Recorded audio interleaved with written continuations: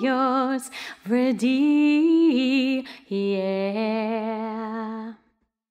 One happy birthday dot com.